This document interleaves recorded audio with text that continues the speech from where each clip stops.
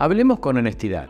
¿Hay alguien que pueda demostrar que es mejor tener una ducha que una bañera? Bueno, yo no creo ser dueño de la verdad absoluta, pero estoy convencido de que de la forma que voy a explicártelo en este video no te van a quedar ningún tipo de dudas. Ya llegaste hasta aquí, quédate a ver a ver si coincidimos.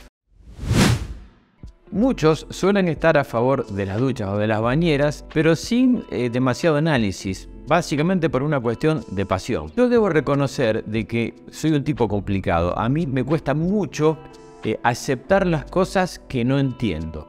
Por eso te propongo que dejemos de lado los fanatismos y tratemos de pensar en esta cuestión de una forma más lógica. Por si hiciera falta la aclaración, cuando hablamos de duchas o regaderas, como le llames por ahí donde te encuentres, eh, estamos hablando del espacio donde vamos a bañarnos. Y en este sentido las hay de dos tipos. Por un lado lo que conocemos como ducha de obra, que es aquella que está revestida en cerámica, porcelanato o algún material concreto, pero que se hace en obra. Y por otra parte estarían los que conocemos como platos de ducha, que son un artefacto de materiales diversos, puede ser de, chapa enlosada, de acero enlosado o, o de fibra de vidrio, que se colocan en el piso y donde luego nos bañamos. En la otra punta estarán las bañeras, bañaderas o tinas, que en definitiva es un recipiente donde suele acumularse agua donde luego nos bañamos.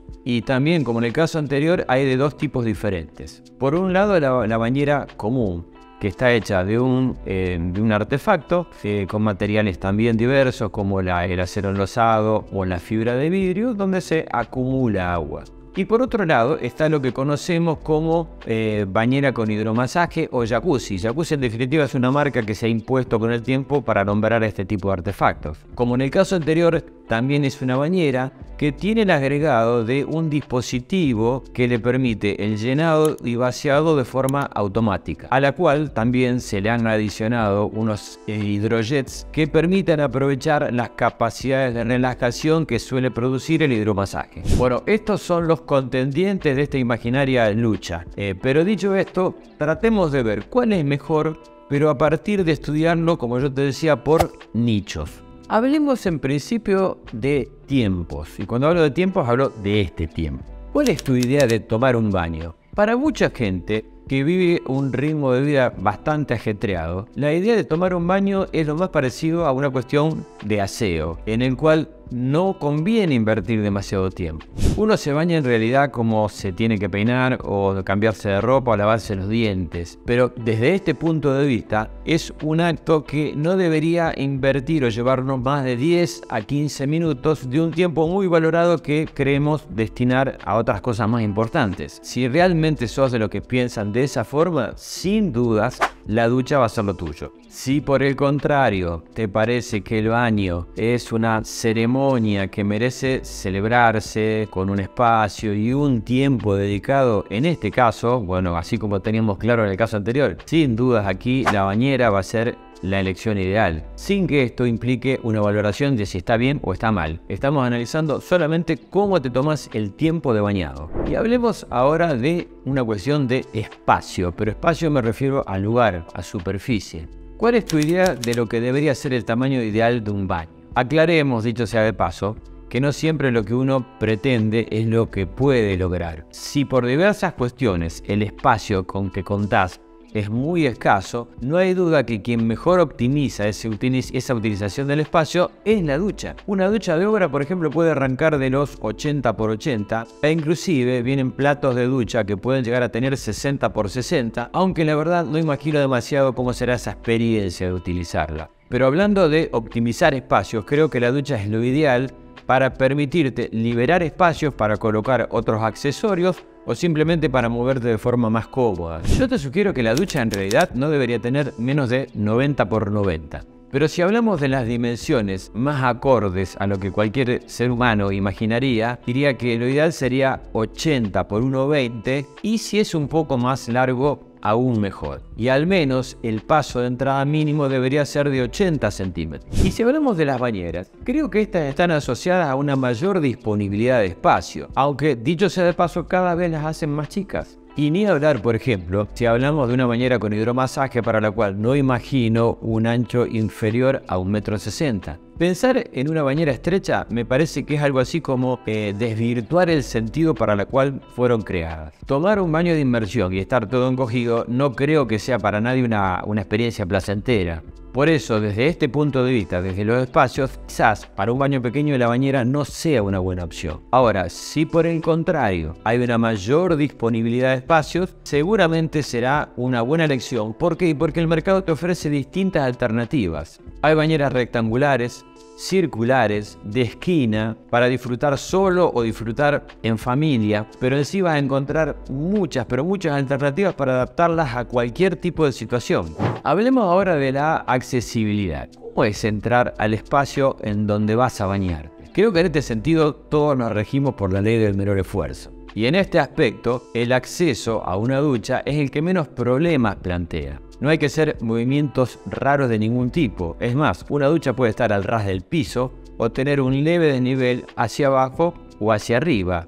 Con este planteo no solamente el acceso es fácil, sino también la limpieza. Desde este punto de vista, las duchas son ideales para aquellos eh, lugares donde uno tome baños frecuentes. Las bañeras por contrapartida, con sus 40 a 45 centímetros o más en sus laterales y nos plantea un acceso algo más complicado. Además, con la mano del corazón, hay que admitir que no solamente son resbaladizas y peligrosas para usar, sino también hasta la misma limpieza se hace complicada. Creo que la mayoría de nosotros conoce a alguien que ha sufrido algún percance con alguna bañera, lo cual nos lleva al punto siguiente. Y hablando de las edades de uso, me parece que la cosa es un poquito más clara. ¿Quiénes van a habitar la casa? Si uno piensa que esa casa va a estar habitada con niños pequeños, por ejemplo, creo que en este sentido la bañera genera un espacio de juegos ideal. Muchos chicos suelen vivir esta experiencia del chorro de la ducha como una situación estresante, que hasta puede llegar a complicarles la misma relación que puedan llegar a tener con el baño. En este sentido, las bañeras permiten lograr un espacio más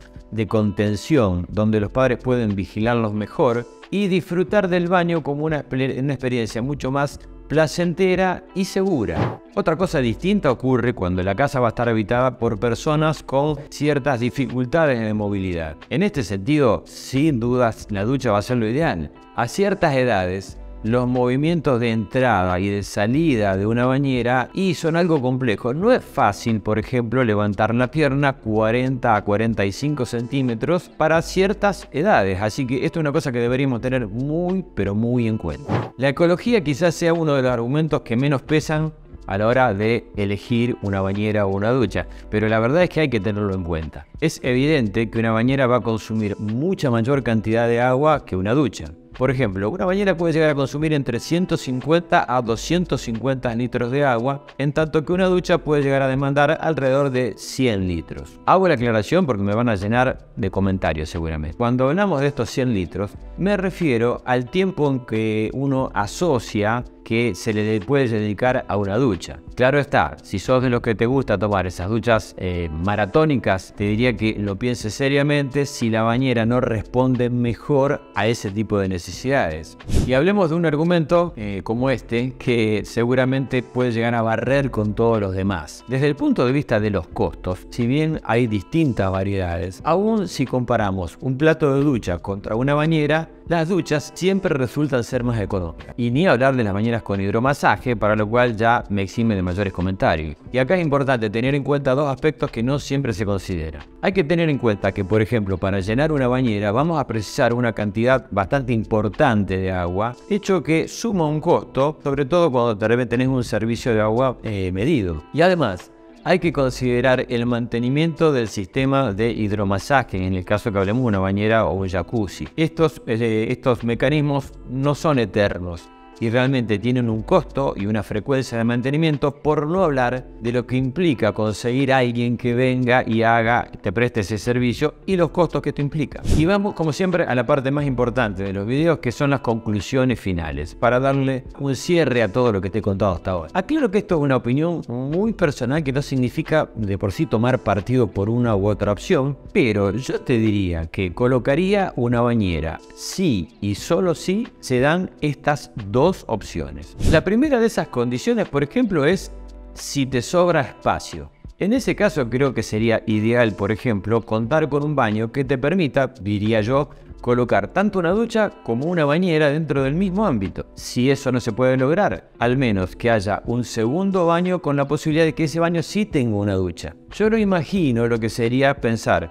en habitar una casa por muchas décadas o de por vida sin tener la posibilidad de al menos tener una ducha. Hay que pensar en la situación normal que implica el envejecimiento de quienes vayamos a vivir dentro de esa casa y cómo afrontar estas posibilidades de bañarse si no tenemos una ducha. La segunda condición sería si no hay problemas de presupuesto. Sí.